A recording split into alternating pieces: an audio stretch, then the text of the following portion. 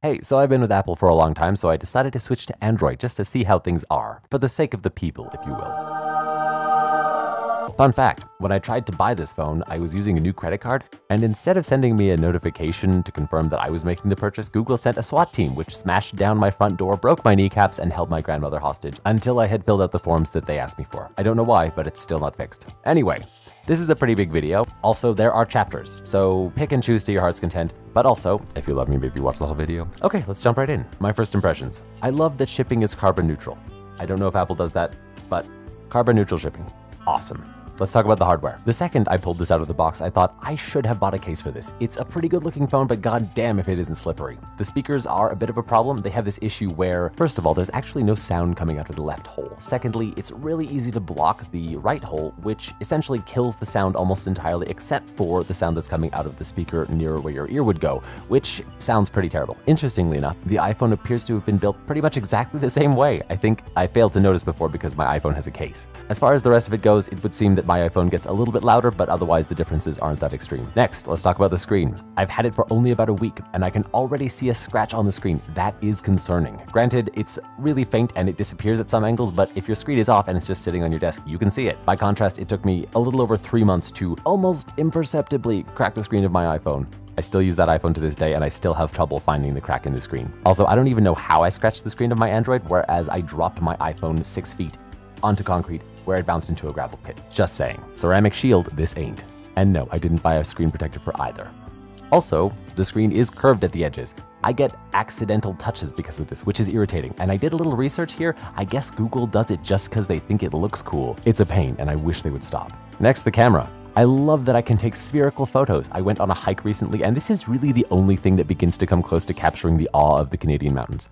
On a separate note, given that Google is known for its algorithmic processing, I would really love it if they could figure out how to remove the glare when I'm taking pictures through glass, like at a display case or something. I also had a photo that I took in bright sunlight where I realized later that the focus was on the wrong thing, basically the background instead of the subject. Granted, visually, it would have been hard for the camera to guess what the subject was, but given how aggressively Google has been marketing the smartness of Pixel's camera, I'm really shocked that it got it wrong in the first place and that I can't change the focus of the picture afterwards, especially since a feature like this really only requires the taking of two or three more photos, on top of the fact that there are already three cameras on the device. So taking photos at different focal lengths doesn't seem like a big ask. It shouldn't even take extra time. Weirdly, I can listen to music while I'm using the video camera. Can't do that on an iPhone. I only mention it because sometimes I'm vibing and I decide to take a video and then the vibe is killed while I'm taking said video. Something else I can't do on an iPhone is take a full 360 panorama. With an Android, I can pretty much just turn in a circle and capture my surroundings. It's really cool. As far as I can tell, the Pixel really only stops the panorama when it senses that you've traveled in a full circle. So if you really wanted to take a super long picture and just like run with it, you probably could. Here's the kicker though. Magic Eraser. Holy shit. I don't know if you got served a million and one ads for the Pixel 6 Pro when it came out, but I did, and one feature I heard about a lot was Magic Eraser. Anyway, despite the annoying ads that I got for Magic Eraser, I have to say that I am very impressed by Magic Eraser. Not only does it work on spherical photos as well as panorama, it works on normal photos, and also it looks at the photos and suggests the things to remove quite intelligently. This is kind of a great combo because if you take a spherical photo, arms and legs get cut off. Strangers are more likely to appear in your photos. These two features together are just I love it. Generally speaking though, I think we can argue that Pixel's camera is just miles better. It does more cool shit and it's better at night photos. Case closed. Next, talking about the battery. As far as I can tell, the battery is a little bit better. With an iPhone, I pretty much always have to make sure that I charge my phone at the end of the day. With an Android, however, I have to say that typically at the end of the day, I've got an ample, get it, ample, amount of charge left over. Funny story, I even had one mental health day where I got stuck and even though I was scrolling TikTok for like four hours and using my Pixel very heavily, that battery kept going strong. Google Pixel, more reliable in your mental health. Oh, also, battery sharing is very fucking cool, and honestly, I love it. It is super well executed. I love the way that you can set a minimum so that you only give so much of your charge to your friend before your phone says, You've taken enough. I know about healthy boundaries. Let's talk about Google Assistant. Something I've griped about a lot in previous videos is how when there's more than one Google Assistant, it's really hard to make the right one hear you and carry out the order that you're given.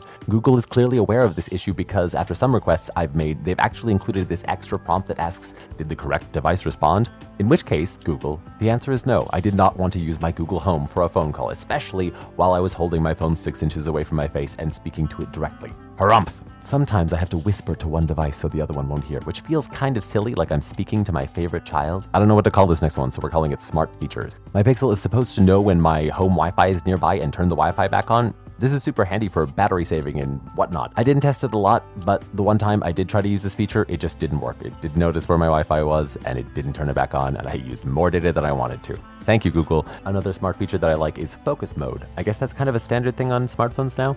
I like that short breaks are integrated into the software. I like that distracting apps are grayed out, and I like that when you try to tap on a distracting app, you get a reminder that you're in focus mode and you probably shouldn't be using that app it's more effective than you think it would be. I think it's because I kind of instinctively reach for distraction instead of consciously thinking about it, so that little extra wall really helps. Next, let's talk about the data transfer, essentially injecting the brains of my iPhone into this new Pixel. So I wanted to do this right out of the box, but it only came with 1% battery, which is a little annoying since I need to use the USB-C port on the phone to transfer the data out of my iPhone. This wouldn't have been a big deal, but the wireless charging was being really weird and only worked occasionally and apparently for no reason. After I finished the data transfer, it was fine, but it's just annoying to me that this was a problem. So I had to charge and then do the transfer. Here's what the switchover covers. It covers your calendar, your contacts, and your photos. Also, it could just be that it was about 30 degrees Celsius while I was doing the transfer, but my Pixel got to 38 degrees Celsius. For Americans, that's like 100 degrees in your disappointing made up system. Either way, it was hot to the touch. I think it's just a combination of the Pixel working overtime to copy my photos, etc., as well as the weather just being really hot, but regardless, it should not get that hot. Uh, the transfer itself took about an hour and it failed a couple of times because, as I mentioned, the wireless charging cut out a bunch. Also, is it weird to anyone else that it didn't even try to copy over my iPhone's file system? Like, I gave it permission to copy whatever it wanted and it just kind of glossed over that. I have a decent amount of stuff stored on my phone and transferring it manually is gonna be a bit of a pain. Also, if there's an Android developer listening, I would really like it if it would notice and try to install equivalent apps. For example, my Pixel sees that I have Duolingo installed, so it downloads and installs the Android equivalent. I feel like in this day and age, it wouldn't be asking too much for it to have Google sign me in as well.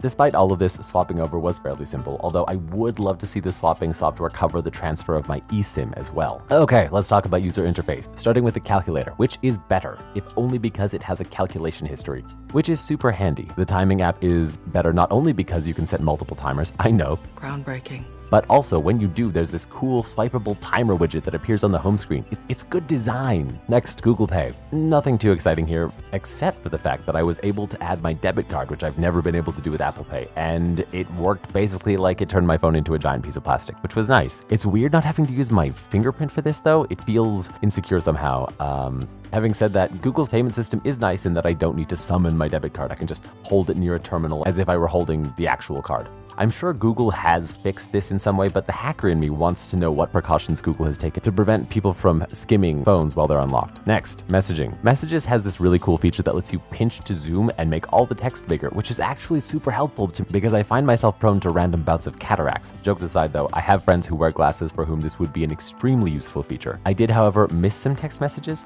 so even though text messages are being sent in group chats in iMessage, they're not hitting my SIM card on my Android phone. This is weird, but it also kind of makes sense. It's weird because technically I'm being sent a message and I'm just not getting it, and it's not even being forwarded to me in any form. It also kind of makes sense because some of the group chats are specific to iMessage. Something that I did not anticipate, however, was the flack that I got, or rather didn't get, from my friends who, for the record, hated that I'd moved to Android. This wasn't even like a snobbery thing, it was just that now I couldn't use iMessage and it bothered them a lot. This is partly because, for all its flaws and shortcomings, iMessage is actually a pretty great app, and frankly, boring old SMS messaging is just terrible. And if I could force everyone to use a better unified system, I absolutely would. Next, let's talk about a feature I use a lot and which I missed while I was using my Android phone cloud copy and paste.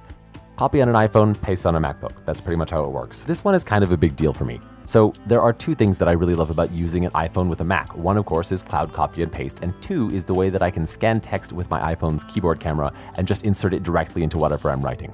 Now, of course, this doesn't happen automatically when you're using an Android phone. However, they did build in a really cool workaround. If you take a picture of the text you want to use, you can just use Google Lens to either copy the text out or, here's the impressive bit, copy it to whatever computer you're also signed into Chrome on. It's really innovative, and it's another example of Google going the extra mile to work with Mac while Apple just kind of sits there and is like, you're coming to me, bitch. Next, we're talking about security. In a nutshell, Face ID is a significantly better way to unlock any phone, in my opinion. The fingerprint sensor on this is okay, but there are two problems.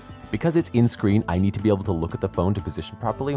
I did find that over time I got used to the position, I could kind of guess. The other problem with the sensor is that it's just not as effortless as Face ID, especially when you're in a hurry. It's just easy to hold your finger incorrectly or not hold it long enough.